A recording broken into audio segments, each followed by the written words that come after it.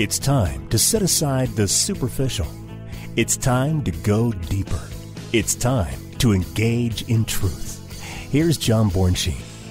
Well, everybody. Welcome back to Engage in Truth. This is John Bornschein. I'm the senior pastor of Calvary Fellowship Fountain Valley right here at Colorado Springs. And I'm so excited that you are tuning in we are continuing in our study of the book of Revelation. We are almost there. We are in Revelation chapter 22. After a year and a half, we are finally coming to a close of our study here. And we're going to try to cover the, the rest of the verses, but you know how it goes. So 25 minutes, it goes by quick. But let's, uh, let's read verses 3 to 4. If you have your scripture handy, you can turn with me. If you're driving, we'll turn there later and study at your own leisure. But here we are, verses 3 to 4. We read, and there shall be no more curse, but the throne of God and the Lamb shall be in it, and his servants shall serve him. They shall see his face, and his name shall be on their foreheads. Now, this is following up on what we've been studying already about the new heavens and the new earth and the new city, a new Jerusalem, a massive city that comes down from heaven on this new earth. And we talked about last week uh, of how this there's a water that flows from the temple and, and, there's a tree of life that we have now have access to the tree of life to eat of its fruit through all seasons. And here we're told now what John now sees in verses 3 to 4 that there will be no more curse.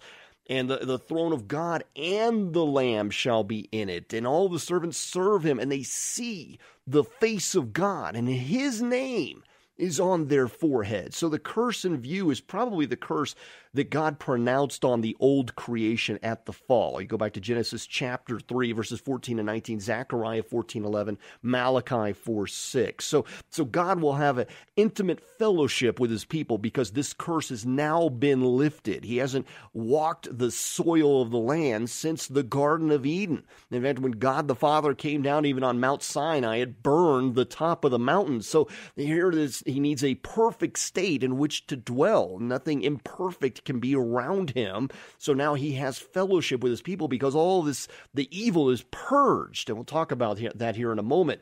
But the curse has now been lifted. So in, in chapter 22, verse 4, we also learn that God's bondservants will see his face.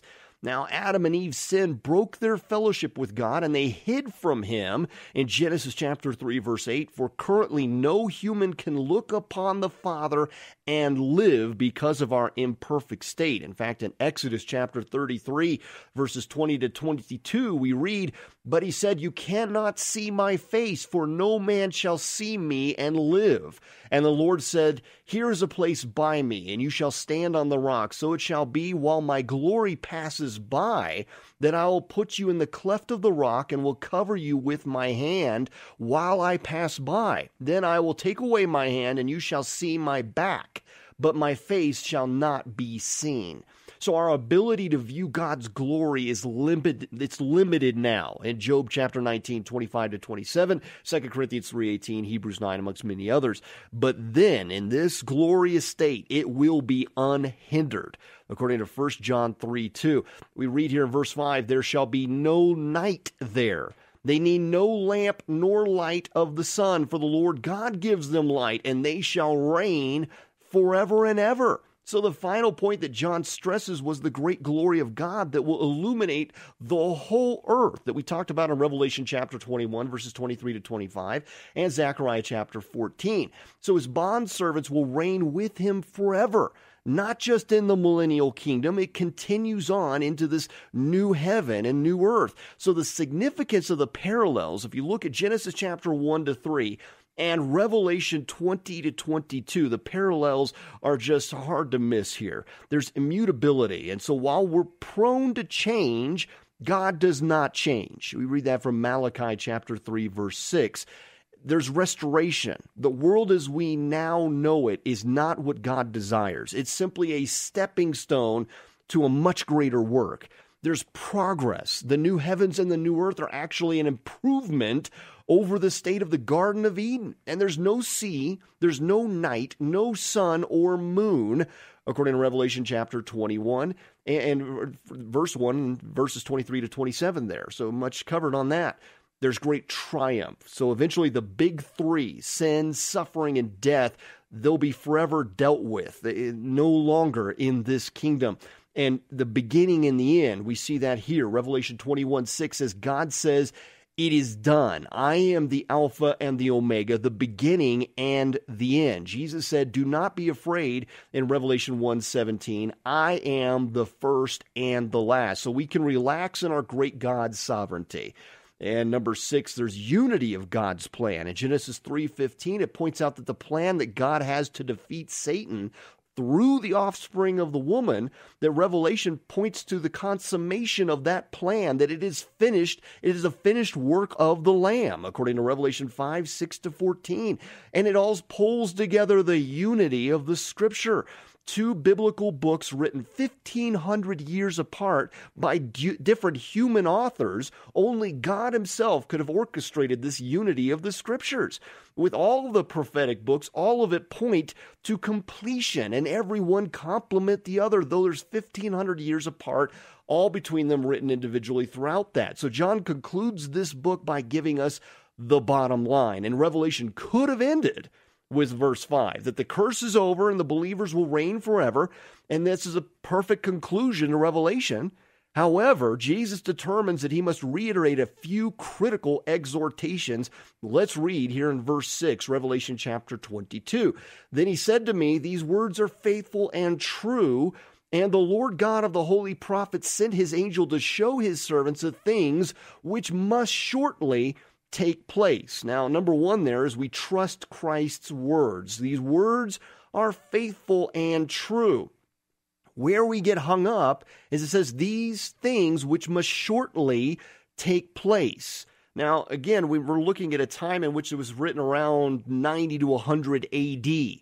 Well, it's 2019. That doesn't feel like it's shortly to take place, but this statement reinforces a futuristic interpretation of Revelation. And it's ironic that people have neglected and avoided this book, even though it contains more promises and blessings than any other book of the Bible. And where we get hung up with this idea that it must shortly come to pass is actually a bit of a misinterpretation. What it means here is that when it occurs, when it comes, it will pass in quickly in quickness. So it will take place rapidly once it occurs. So, as we discussed, 120 verses of the 404 verses of Revelation are dedicated to the final year of the tribulation period. That means almost a third of the entire book is dedicated to a very short period of time. So, indeed, it will occur quickly when it occurs. And we do not know the day or the hour. Scripture tells us that specifically. So, many grow confused when they read that word shortly as though it was written to suggest that the days of the end were close to the time when John had written that book.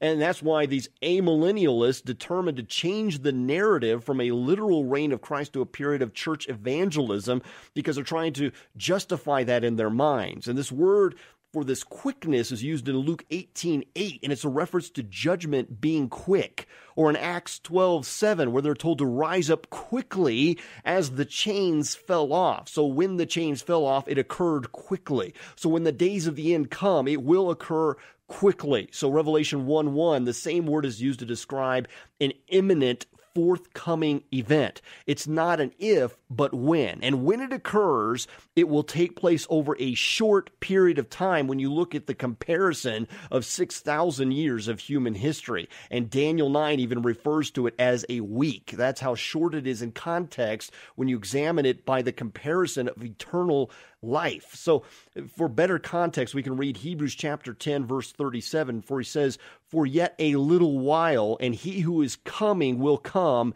and will not tarry. So, you see, in that context, a little while still remains, but when he comes, he will not delay in accomplishing his promises. We also see the Lord speak to the prophet Habakkuk in the same manner. And Habakkuk chapter 2, verse 3, it says, For the vision is yet for an appointed time, but that at the end it will speak and it will not lie. Though it tarries, wait for it, because it will surely come. It will not tarry. So there's an appointed time, and when that time comes, it will be swift. In verse 7, we read, Behold, I'm coming quickly. Blessed is he who keeps the words of the prophecy of this book. So we need to expect Christ's return. Behold, I'm coming quickly. This is the first of three times that Jesus declares, I'm coming quickly. He tells says, behold, and that's a term to grab our attention. His coming could happen at any moment. And, and there's it gives us believers, I believe, a, a solemn assurance of the fulfillments of his promises. After all, 355 prophecies occurred exactly as they were foretold of Christ himself at his first coming.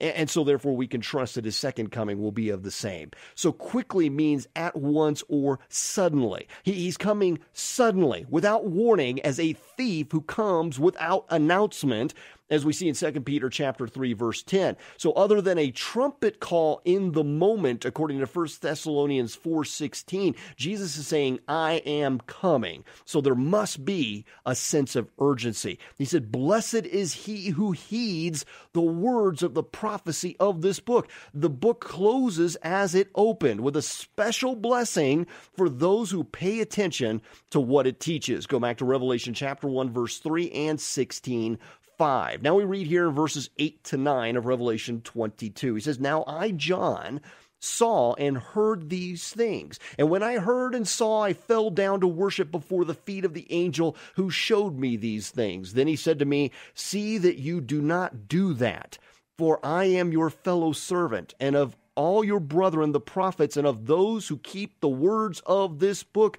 Worship God. Revelation chapter 22, verses 8 to 9. So John confessed that when he had heard and seen these things, he reacted by worshiping the messenger, i.e., the angel. And so this angel rebukes John for worshiping him as he did before back in Revelation 19:10 when John was overwhelmed when he sees the fall of Babylon.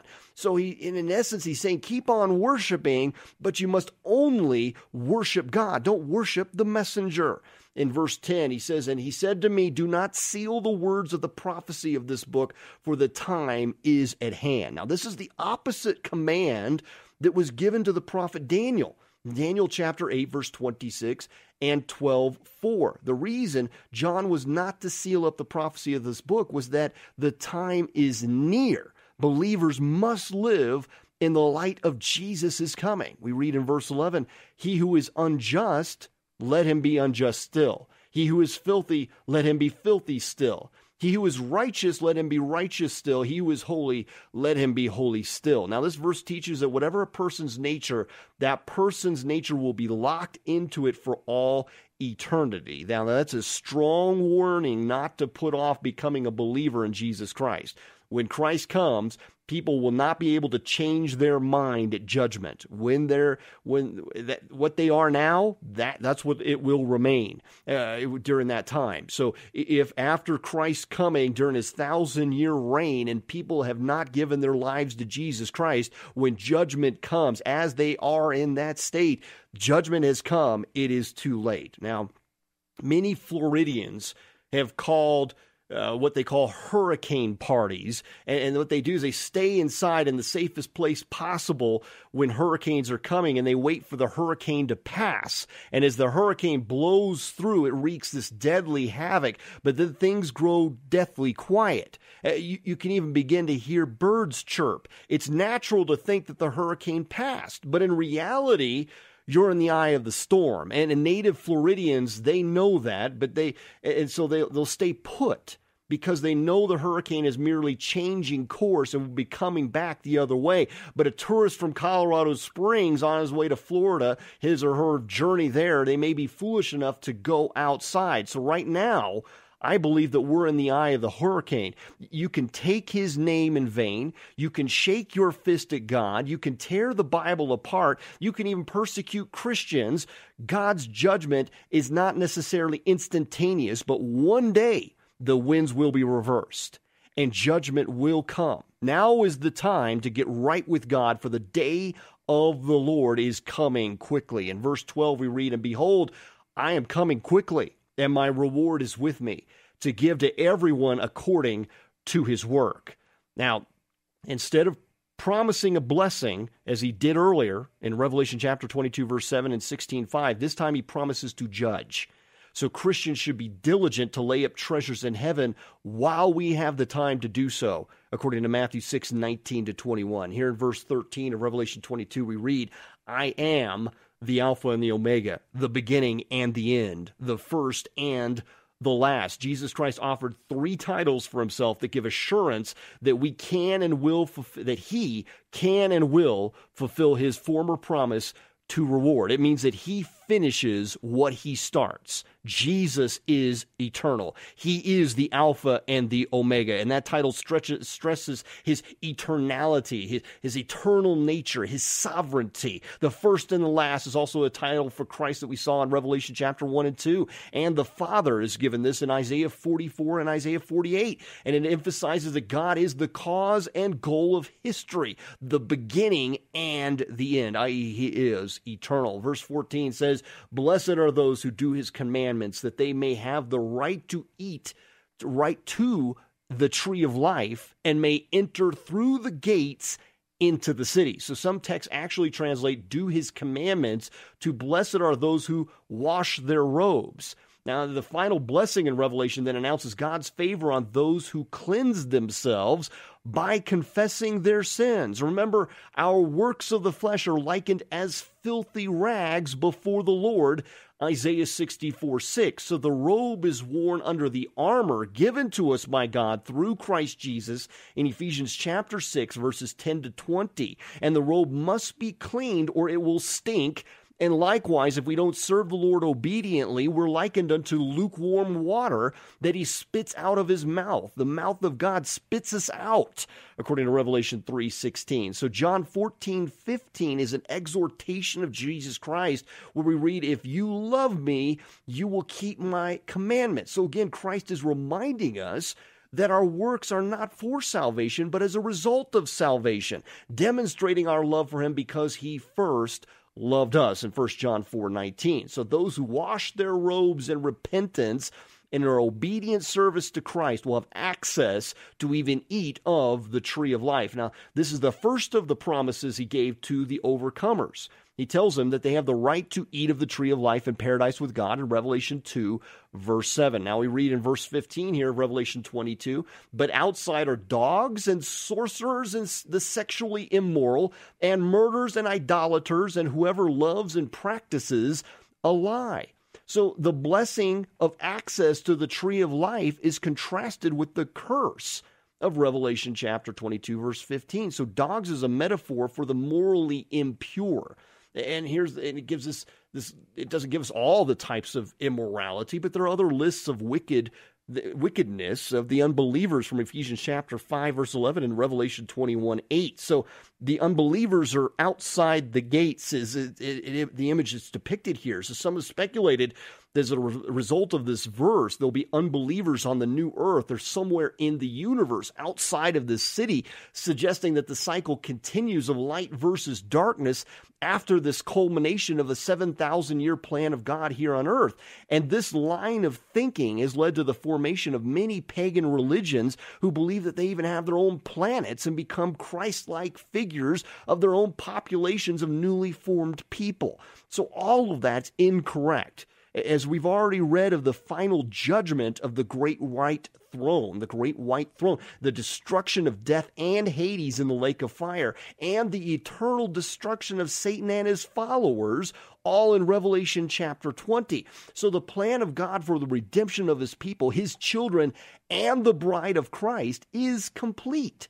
So, this verse is giving us more understanding that the spirit of those who inhabit the kingdom of heaven as its citizens are workers of light and not, not darkness. You won't find anything of darkness there at all. He tells us that in Ephesians 5 8 to 13.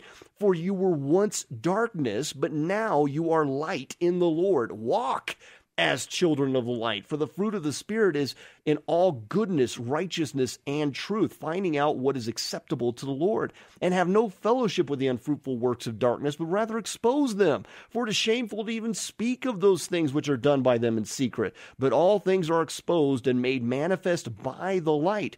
For whatever makes manifest is light. In verse 16, Jesus says, I, Jesus, have sent my angel to testify to you these things in the churches. I am the root and the offspring of David, the bright and morning star. The combination I, Jesus, occurs nowhere else in the New Testament, and it's used here to stress his role in producing this book and so to strengthen its authority. It's not by John. John is not the author, it is Jesus Christ. It is his authority. So Jesus was the ancestor of King David his descendant, his root as well as the offspring, and he fulfills all the prophecies according to David's family, uh, according to Isaiah chapter 11, 2 Samuel chapter 7. So Jesus also called himself the bright morning star and prophesied to come the second time in Revelation chapter 2, verse 28. Now, Satan was once called the morning star in Isaiah 14, 12 hence where we get the name Lucifer, to ensure that there's no confusion that he is not the bright morning star that is Jesus Christ. Rather, like the angels of heaven, which are at times called stars, as we see in Revelation 9 1, or morning stars of Job 38 7, Satan once reflected the glory of God as a morning star, but no longer. It is Jesus who stands above them as the brightest morning star who reflects the glory of God. In Hebrews 1 3, we read, Who Jesus being the brightness of his God's glory and the express image of his person, and upholding all things by the word of his power, when he had by himself purged our sins, sat down at the right hand of the majesty on high, having become so much better than the angels, as he has by inheritance obtained a more excellent name than they. Here in verse 17 of Revelation 22, we read, and the Spirit and the bride say, Come. And let him who hears say, Come. And let him who thirsts come. Whoever desires, let him take the water of life freely. Three times the word come occurs in this verse. We go back to Isaiah 55 and John chapter 7. The first two references from the Spirit and the bride are for Jesus to return. And against there's, there's a sense of urgency, longing for his coming. Now Jesus turns the invitation around and he invites the thirsty to come to him and take of the water of life freely, something he alluded to in John chapter 4 and John chapter 7. But believers also need to keep their thirst quenched by coming to him again and again.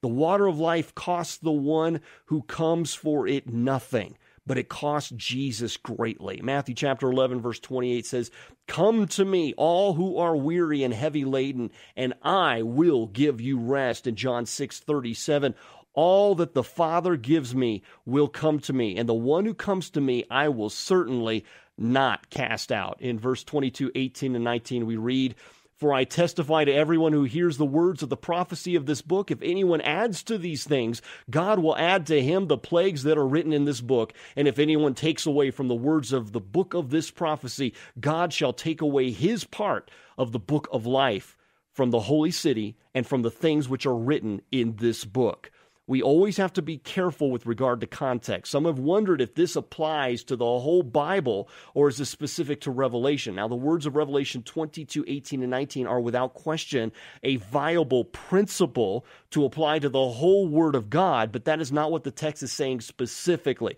The text says the words of the prophecy of this book. And the book of Revelation was primarily given in a scroll format. In fact, the scroll of Revelation was some 15 feet long, but it was not officially canonized to the Bible even until almost 400 AD. Uh, so we believe that there's a direct correlation here to Daniel chapter 12, where we read, But you, Daniel, shut up the words and seal the book until the time of the end. Many shall run to and fro, and knowledge shall increase. So the book of Daniel was not a literal book or codex format, especially since we're talking almost 400 years before the first stages of the codex were even developed in Pergamus under King Eumenes, and almost a thousand years before the codex book replaced the scrolls. So since the book of Revelation is rooted in the Old Testament, containing more than 800 allusions to the Old Testament, with 278 of the 404 verses in Revelation. That's 70% of the book of Revelation being rooted in the Old Testament. The book in question, referenced by both Daniel and John, i.e., Revelation, are most likely one and the same. So Daniel was not stating that the Bible should be sealed up until the end. So we should not assume that John in Revelation 22 18 and 19 is referring to the whole Bible either. But the sealed prophecy of Daniel was most likely the revealed prophecy of Revelation.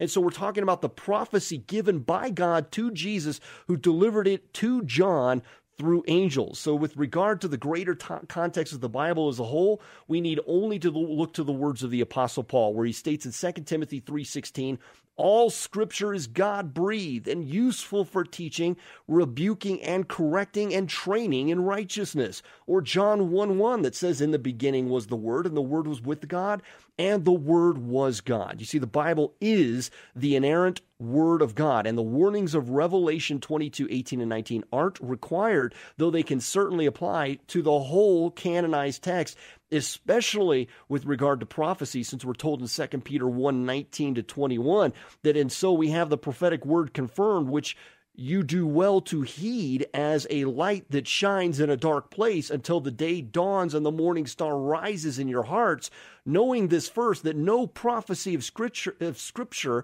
is of any private interpretation. For prophecy never came by the will of man, but holy men of God spoke as they were moved by the Holy Spirit. So I believe the warning was needed because of how powerfully transparent the book of Revelation is. The book of Revelation pulled together the prophecies of all the other 17 Old Testament books into a complete and powerful battle plan against Satan, his forces of darkness, and the eradication of sin once and for all. See, even Martin Luther struggled with the book of Revelation. So, this stern warning at the end of the book was adding to the signet ring of God Himself upon it lest men try to deny its source. So, how does one add or take away from the prophecies of Revelation? Well, one way is claiming that there's new revelation, that, that the Bible and the book of, Revel, uh, uh, book of Revelation are not enough. And we see that through other books that are added to the text, such as the Book of Mormon and others. We, we know that the Isa of Islam will give new revelations from the Dead Sea,